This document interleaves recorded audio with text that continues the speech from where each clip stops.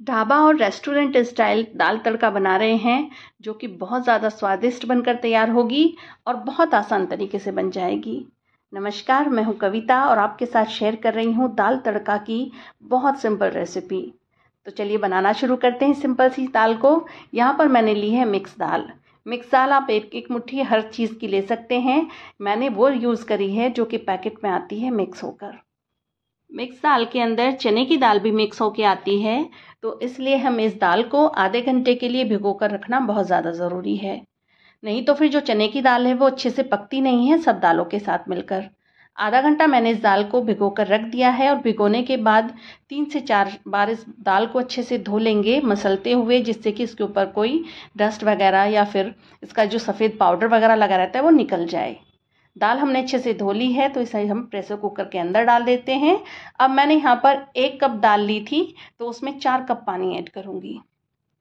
एक कप दाल में चार कप पानी बहुत होता है, आप ज़्यादा पानी ऐड ना करें, क्योंकि बाद में भी हम पानी ऐड कर सकते हैं। टेस्ट के अकॉर्डिंग नमक डाला है, वन फोर्थ टेबल स्पून हल्दी पाउडर, और साथ ही डाला है यहाँ पर दो पिंच मैंने हींग। कुकर का ढक्कन बंद करेंगे, और इसमें लगवाएँगे दो सीटियाँ मीडियम आँच पर। दो सीटियाँ लगाने के बाद गैस बंद करेंगे और जब कुकर की गैस रिलीज़ हो जाए तो ढक्कन खोलेंगे। देखिए, दाल हमारी पक चुकी है अच्छे से। मैं आपको चने की दाल मैश करके दिखाती हूँ कि वो किस तरीके की पकी है। हमें दाल को बहुत ज़्यादा नहीं घोटना होता। ज़्यादा उबालेंगे तो वो बिल्कुल मैश हो जाएगी। ऐसी दाल अच्छी नहीं लगती। हल्के से खड़ेपन पे दाल होती है तो वो बहुत अच्छी लगती है, क्योंकि हमें इसे कढ़ाई में डालकर भी पकाना है। अब दाल हमने ढक कर रख दी है साइड में, एक कढ़ाई ली है, उसमें डाला है दो से तीन चम्मच तेल। तेल जब गर्म हो जाए तो उसमें डाल दीजिए आधा चम्मच जीरा, और जब जीरा ब्राउन हो जाएगा तो उसमें डालेंगे प्याज। एक बड़े साइज़ की प्याज को पतला काट कर डाला है। प्याज को हम मीडियम आँच पर लगातार चलाते हुए तब तक भुनेंगे जब तक गोल्डन ब्राउन नहीं हो जाती। प्याज गोल्डन ब्राउन हो गई है। हमने बड़े साइज़ के दो टमाटर चॉपर में चॉप करके लिए हैं। आप बारीक टुकड़ों में काट कर भी ले सकते हैं और इसे थोड़ा सा मिक्स करेंगे। यहाँ पर हम डालेंगे नमक। नमक हमें उतना डालना है इसके अंदर जितना कि टमाटर और प्याज में जाएगा। आधा चम्मच लाल मिर्च पाउडर, एक चम्मच धनिया पाउडर और वन फोर्थ टेबल स्पून हल्दी पाउडर डाला है।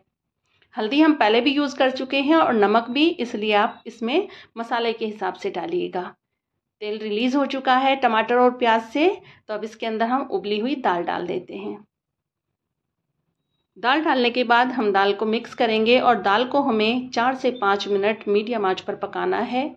और आप देख लीजिएगा, इसकी कंसिस्टेंसी अगर आपको लगता है कि ये गाढ़ी है तो आप इसमें हल्का सा गुनगुना पानी करके ऐड कर सकते हैं। अगर आपको पतली लग रही है तो आप इसको थोड़ी ज़्यादा देर उबाल सकते हैं। दाल बहुत अच्छी बनकर तैयार होती है, इसका स्वाद बहुत अच्छा होता है और बहुत जल्दी बन जाती है। सिंपल रेसिपी है बिल्कुल। यहाँ पर मैं डालूँगी एक चम्मच कसूरी मेथी। कसूरी मेथी से भी इसमें बहुत अच्छा टेस्ट आता है। साथ ही इसके अंदर वन फोर्थ टेबल स्पून मैंने गरम मसाला पाउडर डाला है। होममेड है तो इसलिए मैंने कम डाला है। अगर बाज़ार वाला गरम मसाला पाउडर है तो आप आधा चम्मच ऐड कीजिएगा। मिक्स करेंगे अच्छे से और दाल को आप इस तरीके से घोट दीजिए जैसे मैं भी इसको चला रही थी तली से।